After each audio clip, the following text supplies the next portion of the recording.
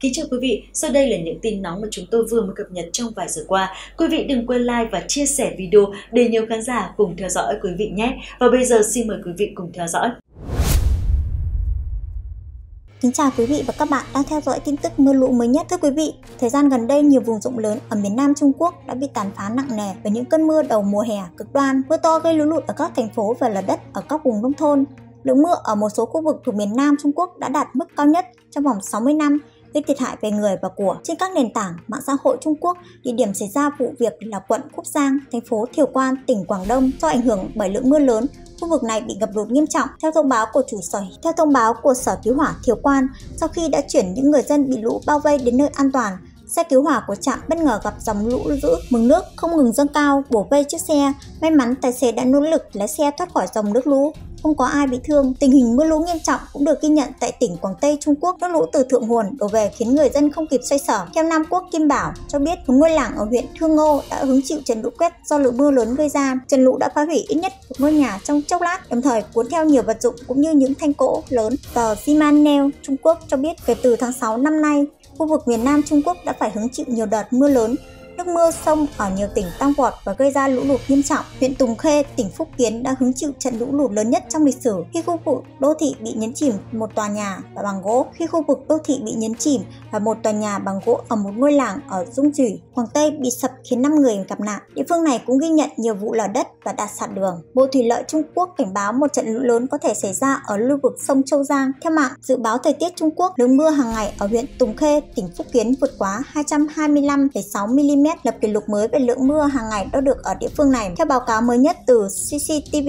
vào sáng nay, mực nước của lưu vực sông Tùng Khê đã giảm xuống dưới mực nước đảm bảo. Theo cơ quan phòng cháy chữa cháy địa phương, nước lũ tại hiện trường cơ bản đã rút, công tác sơ tán và nạo vét đang được tiến hành. Tại Quảng Tây, theo báo cáo của cơ quan quản lý khẩn cấp, trận mưa lớn đã ảnh hưởng đến 2.349 triệu người tại 110 quận, huyện của 14 thành phố trong toàn khu vực, 145.000 người đã được đưa tới nơi an toàn khẩn cấp và 307.000 người cần được hỗ trợ sinh hoạt khẩn cấp. 10.600 ngôi nhà bị hư hại tại các khu độ khác nhau. Theo hãng tin GTU, các video chia sẻ mạng xã hội Trung Quốc cho thấy tại ít nhất là hai quận ở tỉnh Quý Châu, phía tây nam Trung Quốc, mưa lớn đã biến đường phố thành sông, ô tô và những căn nhà một tầng bị cuốn trôi. Lượng mưa ở khu ừ, vực lượng mưa ở một số khu vực được ghi nhận là kỷ lục trong vòng 60 năm qua. Theo thông báo của Văn phòng Thông tin Bộ Thủy lợi Trung Quốc, khả năng cao xảy ra thảm họa lũ quét cảnh báo màu da cam ở các khu vực phía Tây Chiết Giang và Đông Bắc Giang, Đông Bắc Giang Tây. Trong đó khả năng cao xảy ra lũ quét báo động đỏ ở khu vực Đông Bắc Giang Tây. Các khu vực khác cũng có thể xảy ra lũ lụt do mưa lớn cục bộ trong thời gian ngắn. Văn phòng phòng chống lũ lụt tỉnh Phúc Kiến cho biết lượng mưa đo được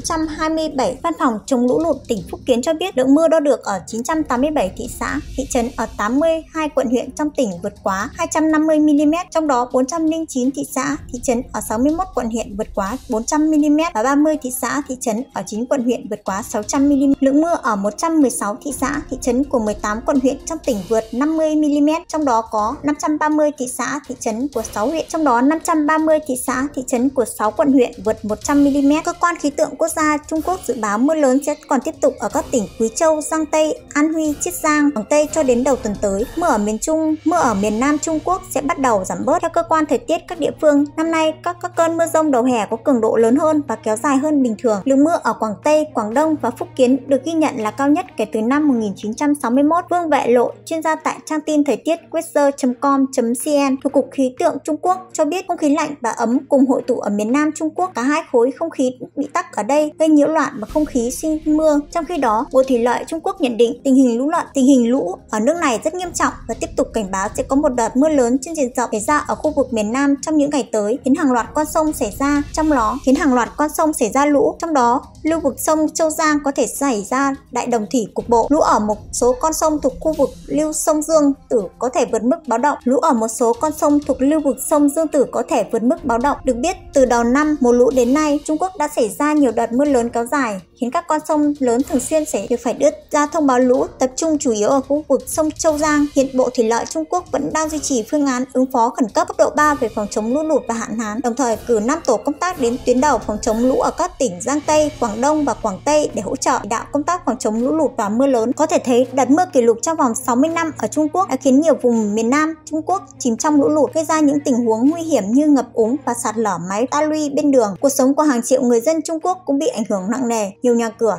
tài sản bị nước cuốn trôi phải đi sơ tán. Trung Quốc hiện đang phải chịu ảnh hưởng bởi sự hội tụ hiếm hoi của mưa lớn kỷ lục cùng với sóng nhiệt và lốc xoáy ở siêu thị phía Nam Quảng Châu khiến cho nhiều người phải di tản, làm hư hại tài sản và đất canh tác. Ít nhất 7 tỉnh và khu vực miền miền Nam đã ban hành cảnh báo lũ lụt nghiêm trọng giữa lúc lượng mưa và nhiệt độ đạt mức cao kỷ lục. Trung Quốc cho rằng biến đổi khí hậu làm gia tăng các hiện tượng thời tiết khắc nghiệt. Vậy nguyên nhân do đâu gây mưa lũ bất thường ở Trung Quốc? Thưa quý vị, ở miền Nam Trung Quốc những tuần trước và sau lễ hội truyền thưa quý vị ở miền Nam Trung Quốc và những tuần sau thưa quý vị ở miền Nam Trung Quốc những tuần trước và sau lễ hội thuyền rồng vào tháng 6 hàng năm thường xuất hiện mưa và thời tiết bất ổn do không khí nóng ẩm ở phía Nam va chạm với khí hồi không khí lạnh từ phía Bắc. Mùa hè là thời điểm xảy ra lũ lụt ở Trung Quốc nhưng trong những năm gần đây ảnh hưởng của mưa lũ có xu hướng nặng hơn, có tác động của suy thái rừng, san lấp các vùng đất ngập nước và việc việc xây đập thủy điện, thủy lợi, biến đổi khí hậu cũng được cho là góp phần dẫn đến tình trạng này. Cảnh báo thiên tai của các tỉnh khác đưa ra trong tuần này đã thúc đẩy nỗ lực cứu trợ khẩn cấp khi đường phố chìm trong nước, đường cao tốc bị cô lập và đất nông nghiệp bị ngập úng. Trong khi đó, nhiệt độ ở miền Trung và miền Bắc Trung Quốc dự kiến sẽ đạt mức cao bất thường trong tuần lên tới đến 40 độ C.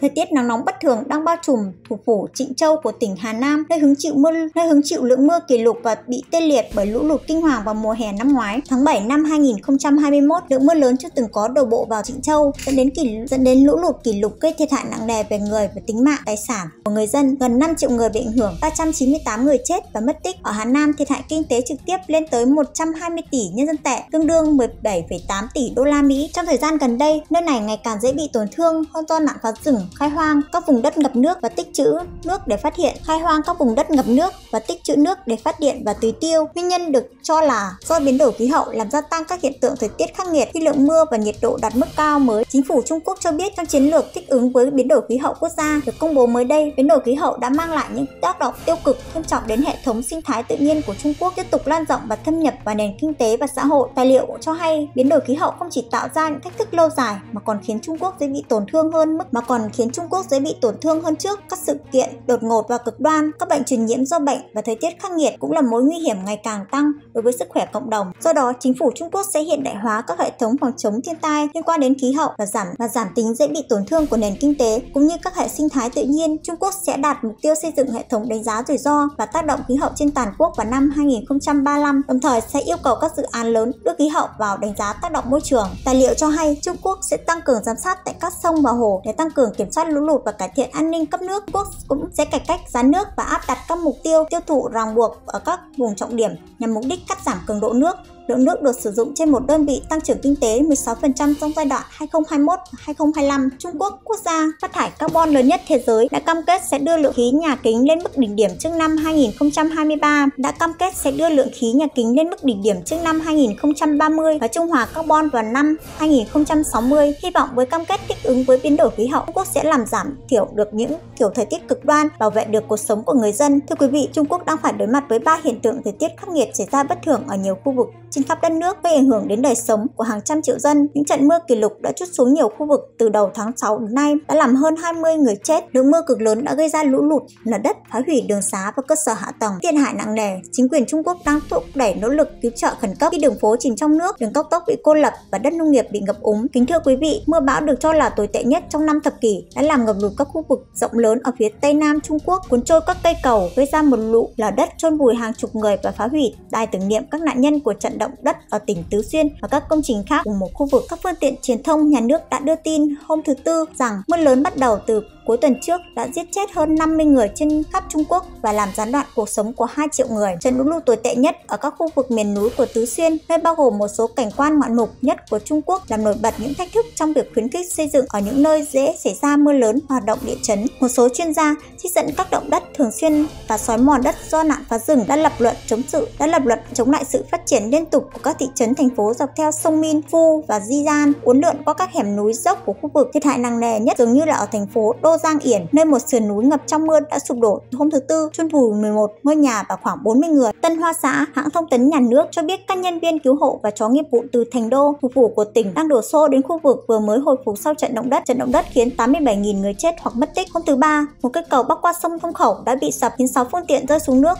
Các phương tiện truyền thông nhà nước đưa tin ít nhất 12 người vẫn mất tích và được cho là đã chết. Lũ lụt đã nhấn chìm Khuất Sơn, quận Ly, cụ quận Ly cũ của Bắc Xuyên từng là thành phố 20.000 dân đã bị trận động đất phá hủy. Các phương tiện truyền thông nhà nước cho biết nước hơn 7 mét đã làm ngập viện bảo tàng tưởng niệm các nạn nhân động đất mới mở gần đây. Những người sống sót từ lâu đã được chuyển đến một trung tâm thị trấn mới và các quan chức dành khoảng 10 dặm vuông làm đường đài tỉnh điện. Oriental Morning Post, một tờ báo có trụ sở tại thượng một tờ báo có trụ sở tại Thượng Hải, kêu gọi chính phủ bảo vệ tốt hơn khu tưởng niệm nơi chứa hài cốt hàng trăm người mà thi thể của họ không bao giờ được tìm thấy từ đống đổ nát. Nếu chúng ta không thực hiện các biện pháp hiệu quả, bài xã luận nói trong 10 hoặc 20 năm nữa, tàn tích có thể không còn nữa. Ở phía Bắc, tại tỉnh Sơn Tây, 12 công nhân đã thiệt mạng vào tối thứ ba khi một trận mưa bão dữ dội gây ra sụp đổ của một xưởng khai thác than dở dang mà họ đang xây dựng. Phố Y Daily đưa tin dẫn một tuyên bố từ chính quyền thành phố Tân Trung nơi xảy ra vụ tai nạn. Thông tin vừa rồi cũng đã kết thúc bản tin về tình hình lũ lụt tại Trung Quốc của kênh 24 giờ. Thông tin vừa rồi cũng đã kết thúc bản tin về tình hình lũ lụt tại Trung Quốc của bản tin 24 giờ ngày hôm nay. Để cập nhật và theo dõi những thông tin thời tiết quốc tế mới nhất cũng như